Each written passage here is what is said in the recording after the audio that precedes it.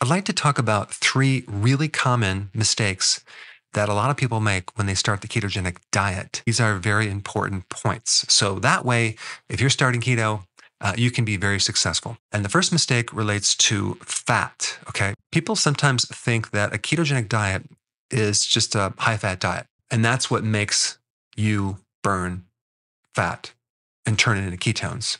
That's not true. It's not eating more fat. Eating more fat is not going to make you more into ketosis. It's the lowering of carbohydrates. Now, what is an average person trying to fix when they go on keto? They're trying to fix problems with their insulin, okay? Primarily this thing called insulin resistance. Insulin resistance is the basically the pre stage before diabetes. It starts off mild, it gets worse, worse, and worse until the point where it becomes advanced insulin resistance, and then you become a pre diabetic and a diabetic. So, diabetes is advanced insulin resistance. Now, let's just take a look at a really, like, probably the most important function of insulin. Insulin uh, prevents the loss of fat. It's a survival mechanism. Yes, it does help you store fat, but it prevents the burning of fat. It also prevents the loss of proteins in the body. Like if you think about a diabetic type 1, where they have no more insulin, and what happens with them? They're really skinny. But what's confusing to some people is that, wow, they're a diabetic, they should be fat. Now, a lot of times when you have type 1, you're very, very skinny. Why? Because you have no more insulin to store anything. So everything just tends to just end up in the blood. So you have high levels of fat in the blood that then don't get stored. You end up with high levels of sugar and you lose a lot of protein too.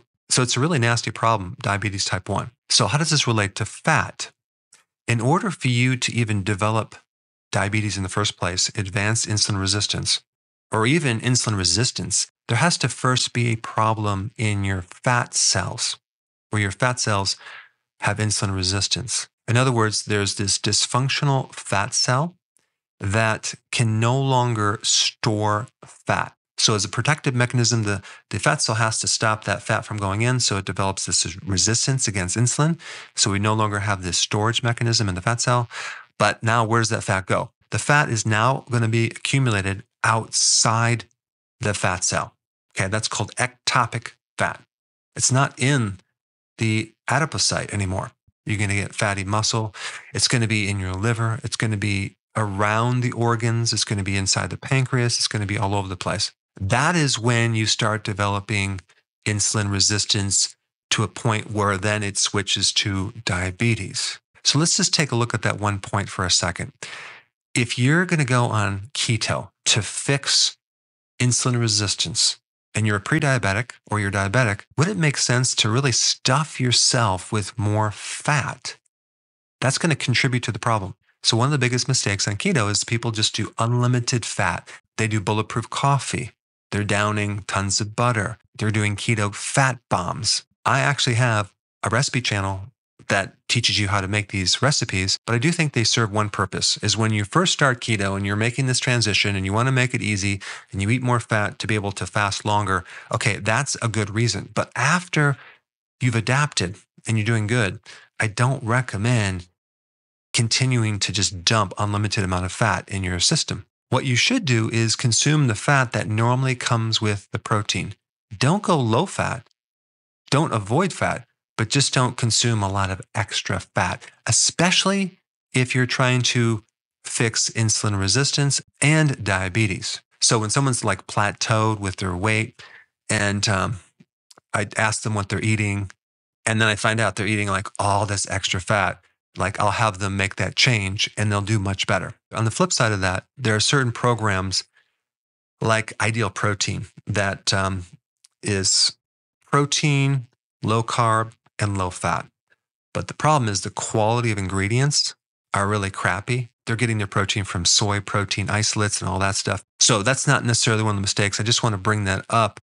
You want to use healthy ingredients as well, like real food, which relates to the mistake number two. I mean, this concept of keto snacks goes completely against what we're trying to do because insulin is not just increased by carbs, it's also increased by eating.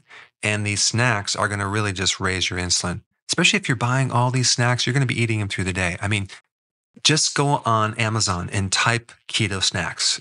There's just everything from keto ice cream, the so called protein shakes, there's chips, there's cookies. It just goes on and on and on. And if you read the label on this, they're filled with things like polydextrose and dextrose and all these new fibers that haven't been tested tapioca, corn fiber. And just because something says keto does not even make it keto. But the point is that you don't want to do these snacks. I can see using some of these as dessert occasionally, but I don't do a lot of these keto snacks. And that is a big reason why people are failing on keto because they're doing all this keto snacks and the ingredients are not even keto, especially when you get into the Atkins type so called keto friendly foods.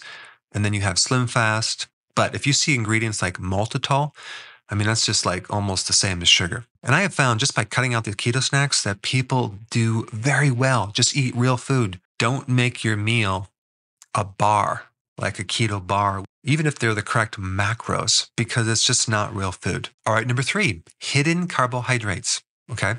And um, a big one is this maltodextrin. It's even in your supplements, it's in the, the electrolyte powders. I've done a video on that. And I think another big thing is too many berries and fruit. I've had people say, well, well, fruit has fructose. Fruit has half fructose and half glucose. So, yes, fructose is low on the glycemic index, but your liver is the only organ that can handle fructose, and it is going to create a major problem with insulin resistance. So, even though it's low on the glycemic index, it's still a big problem. And out of all the things that are very high in fructose, agave nectar is right at the top. And if you look at agave nectar in some products, it says, oh, yeah, it's keto friendly because it's low in the glycemic index. Well, that's just like saying, like, pizza is good because it has tomatoes. Well, it has other things as well. Now, there's a really good uh, Kindle book that I recently got. I, I didn't finish it, so I can't say that I agree with every single point yet, but it's called Don't Eat for the Winter.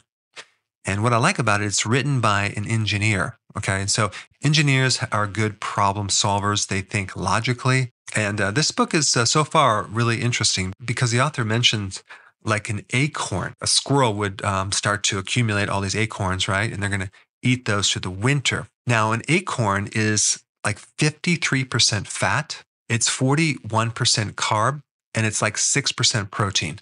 A very similar profile to junk food. And when you combine that much carb with that much fat, well, you're going to create a lot of storage of fat. And he also mentions another uh, interesting point about, you know, when do we harvest uh, fruits? Okay, like apples, pears, peaches, all this fruit is mainly harvested in September, October, maybe early November. It's very unnatural to harvest fruit all year round. That fruit, which is higher in fructose, tends to act as a survival mechanism so you can survive through the winter. But of course, we have fruit available every single day of the year. So you can very easily overdo the fruit, especially if you add it with fat. Our body and our genes have not evolved to handle that much fructose. So to summarize, number one, don't overdo it with the fat. Consume the fat that normally comes with protein. And also realize when you're drinking all this fat, it's not all being oxidized as fat burning. A lot of it can be stored as well. And as I'm thinking about this, there's actually a fourth one that I want to bring up. I mentioned this uh, in another video. Now, typically, the ketogenic diet should be a moderate amount of protein, and it definitely should be bioavailable, complete protein. So, if you're doing the ketogenic diet with plant based protein or just not enough bioavailable protein, that's going to tell the brain to keep eating.